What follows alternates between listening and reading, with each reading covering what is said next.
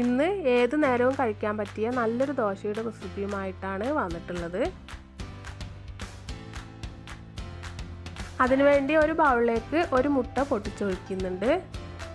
ഇനി ഇതിലേക്ക് അര കപ്പ് പാലാണ് ഒഴിച്ചു കൊടുക്കുന്നത്. അര ടീസ്പൂൺ ഉപ്പ് കൂടെ ഇട്ട് കൊടുത്ത് നന്നായി ഒന്ന് മിക്സ് ചെയ്തെടുക്കുക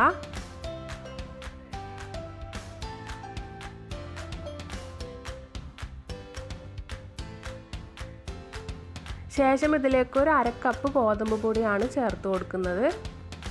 ഈ പാലിലേക്ക് ഗോതമ്പ് പൊടി ഇട്ട് ഒന്ന് മിക്സ് ചെയ്തതിന് ശേഷം തിക്കായിട്ടുള്ള ബാറ്റർ ആണെങ്കിൽ കുറച്ചുകൂടെ പാലൊഴിച്ച് ഒന്നുകൂടെ ഒന്ന് ലൂസാക്കി എടുത്താൽ മതി. ഇനി എല്ലാം ഒന്ന് മിക്സ് ചെയ്തെടുത്ത ശേഷം ഒരു സ്പൂണോ വിസ്കോ എന്തെങ്കിലും വെച്ച് കട്ടയൊന്നും ഇല്ലാതെ നന്നായി കലക്കിയെടുക്കണം. ഇപ്പോൾ ഇതാ കട്ടകളൊന്നും ഇല്ലാതെ തന്നെ നന്നായി കലക്കിയെടുത്തിട്ടുണ്ട്. ഇത്രയും ഒരു ലൂസിലാണ് മാവ് കലക്കിയെടുക്കേണ്ടത്.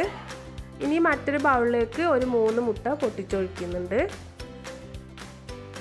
ഇതിലേക്ക് ഒരു വലിയ ഉള്ളി ചെറുതായി അരിഞ്ഞ് ചേർത്ത് കൊടുക്കുക എരിവിന് ആവശ്യമായിട്ട് രണ്ട് പച്ചമുളക് ചെറുതായി അരിഞ്ഞ് ചേർത്ത് കൊടുക്കുക പിന്നെ ഒരു തക്കാളി ചോപ്പ് ചെയ്ത് ചേർത്ത് കൊടുക്കുക ഒരു കൈപ്പിടി മല്ലിയില ചേർത്ത് കൊടുക്കുന്നുണ്ട്. പിന്നെ ഒരു കാൽ ടീസ്പൂൺ ഉപ്പും കാൽ ടീസ്പൂൺ മഞ്ഞൾപ്പൊടിയും ഒരു ടീസ്പൂൺ മുളക് പൊടിയും ചേർത്ത് നമുക്കിത് നന്നായി മിക്സ് ചെയ്തെടുക്കാം. ഉപ്പ് ചേർക്കുമ്പോൾ ശ്രദ്ധിച്ച് ചേർക്കണം. നമ്മൾ മാവ് കലക്കിയെടുത്തപ്പോഴും ഉപ്പ് ചേർത്തതാണ്.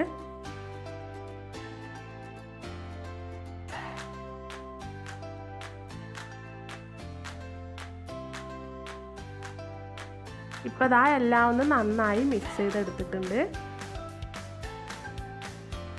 ഇനി നമുക്ക് ദോശ ചുട്ടെടുക്കാം. ഒരു പാൻ ചൂടാക്കി അതിലേക്ക് ഓയിൽ തടവി കൊടുക്കുക ശേഷം നമ്മൾ ആദ്യം റെഡിയാക്കി വെച്ച ഗോതമ്പിന്റെയും മുട്ടയുടെയും പാലിന്റെയും ഒക്കെ കൂട്ട് ഇതിലേക്ക് ഒഴിച്ചു കൊടുക്കുക ഒരു രണ്ട് തവയോളം മാവൊഴിച്ച് പാൻ വെച്ച് തന്നെ എല്ലാ ഭാഗത്തേക്കൊന്ന് ചുറ്റിച്ചെടുത്താൽ മതി.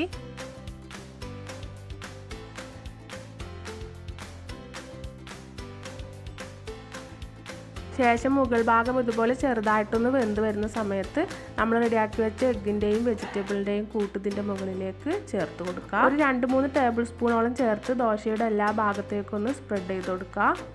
ശേഷം അതിന്റെ മുകളിലേക്കും സൈഡിലേക്കൊക്കെ ആയിട്ട് ഒരു ടീസ്പൂൺ ഓയിൽ ഒഴിച്ചു കൊടുക്കുക. ഇനി ഈ ദോശ നമുക്കൊന്ന് തിരിച്ചിട്ട് കൊടുക്കണം.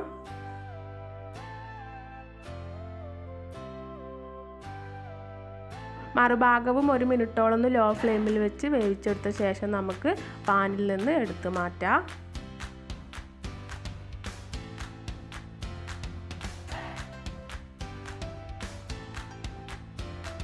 ഈ ദോശ ഇതുപോലെ ചുരുട്ടി കഷ്ണങ്ങളാക്കി നമുക്ക് കുട്ടികളുടെ ലഞ്ച് ബോക്സിലൊക്കെ സ്കൂളിൽ കൊടുത്തു വിടാൻ പറ്റും കേട്ടോ നല്ല ഹെൽത്തിയും അതുപോലെ തന്നെ വളരെ ടേസ്റ്റി ആയിട്ടുള്ള നല്ലൊരു എഗ് ദോശയാണ് കേട്ടോ ഇത്. അപ്പോൾ എല്ലാവരും ഒന്ന് ട്രൈ ചെയ്ത് നോക്കണം അഭിപ്രായം അറിയിക്കണം. വീഡിയോ ഇഷ്ടപ്പെട്ടാൽ ലൈക്ക് ചെയ്യാൻ മറക്കരുത്. എന്റെ ചാനൽ ആദ്യമായിട്ട് കാണുന്ന കൂട്ടുകാരൊന്ന് സബ്സ്ക്രൈബ് ചെയ്യാനും മറക്കരുത്. അപ്പോൾ നമുക്ക് വീണ്ടും അടുത്ത നല്ലൊരു ഈസി റെസിപ്പിയുമായി കാണാം.